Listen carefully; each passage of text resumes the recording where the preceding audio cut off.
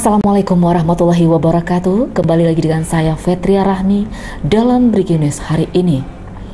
Kedatangan salah satu anggota DPR RI Komisi 11 Insinyur Haji Muhammad Rohamahu Murzi MT dengan persiapan yang matang telah terlaksana dengan meriah dan dihadiri oleh para tamu undangan yang berasal dari 12 kabupaten kota seprovinsi Riau.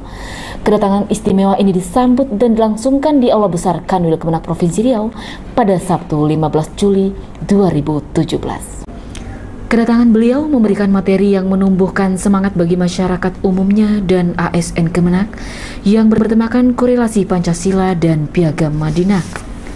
Hadir pada kesempatan tersebut Kakanwil Kemenak Riau, Dr. Andes Haji Ahmad Supardi MA, Wakil Gubernur Wan Tamrin Hashim, Rusli Effendi Sekjen Masjid Istiqlal, Bupati Kampar Haji Aziz Zainal, Kepala Kan Kemenak Seprovinsi Riau, para kabit dan kasih di jajaran Kanwil Kemenak Riau, serta Kepala MA MTS MI Seprovinsi Riau.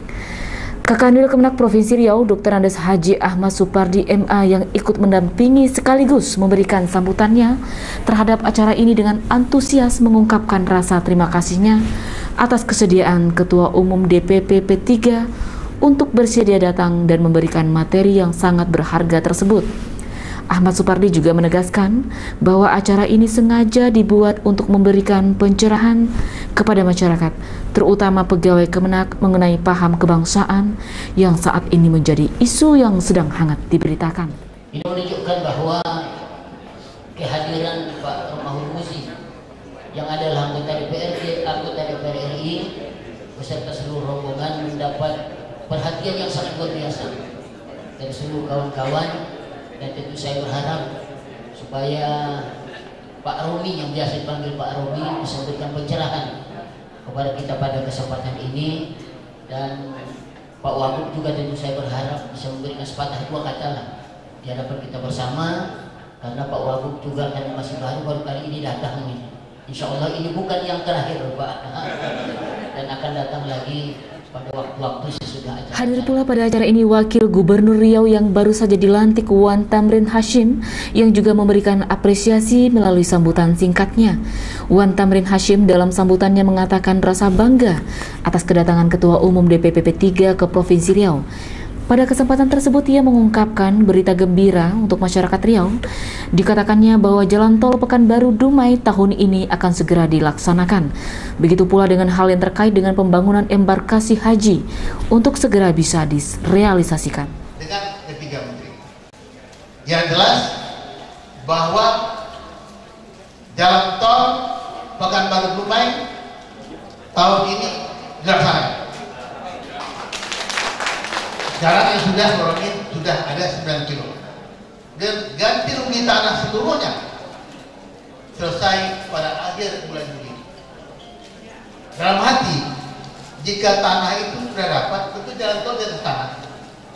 Berarti jadi Sementara itu Bupati Kampar Haji Aziz Zainal yang turut hadir pada acara itu mengatakan ada sinergitas antara Kemenak dengan pemerintah daerah dalam upaya menyiarkan agama di tengah masyarakat Riau.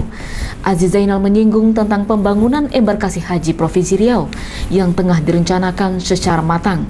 Ia mengharapkan embarkasi itu dapat segera direalisasi pada tahun 2018 mendatang. Masalah ini masalah embarkasi haji Pak. Ini yang saya terus mulai saya jadi ketua komisi C DPRD Provinsi Riau dulu. Kita sudah berjuang Pak. Bagaimana embarkasi haji ini mulai startnya di dapat dilaksanakan di Pekanbaru. Luar biasa kita pemborosannya kalau kita kirim ke Batam Pak Wagub. Luar biasa Pak. Jadi berbagai upaya dan cara termasuk Pak Robi juga sudah berjuang dengan Pak Menteri Agama kita sudah sepakat tapi tidak bisa. Banyak aja rintangan dan halangannya. Istilah halal bihalal ini adalah istilah khas Indonesia yang tidak akan ditemukan di belahan bumi di luar Indonesia. Karena istilah ini adalah istilah yang dibuat oleh Kiai Abdul Wahab Hasbullah kebetulan kakek saya sendiri yang pada waktu itu menjadi Rais Am pengurus besar Nahdlatul Ulama ditanya oleh Bung Karno. Karena tiga tahun setelah proklamasi Republik ini dilanda kegaduhan. Pemberontakan dimulai dari PKI di Madiun disusul oleh DITII di Jawa Barat tahun 49 dan susul menyusul Dewan Banten, Dewan Garuda. Di banyak tempat di Indonesia mereka mau memisahkan diri dari Jakarta dari pusat dari NKRI dan kemudian Bung Karno meminta seluruh pemimpin nasional untuk berkumpul di istana tetapi mereka pun tidak memenuhi undangan presiden dan kepala negara pada waktu itu maka Bung Karno bertanya kepada Kiai Wahab, Kiai apa yang bisa kita lakukan untuk mengumpul mereka? Buat saja silaturahmi Pak Karno, karena silaturahmi kan ajaran Islam, ini bulan Ramadan sebentar lagi Syawal, buat saja silaturahmi setelah Lebaran, sambil kita bermaaf-maafan. Maka kata Bung Karno, saya ingin hal yang lain. Silaturahmi itu kalimat yang sudah umum. Maka Demikian Brigenis hari ini. Wassalamualaikum warahmatullahi wabarakatuh dan sampai jumpa.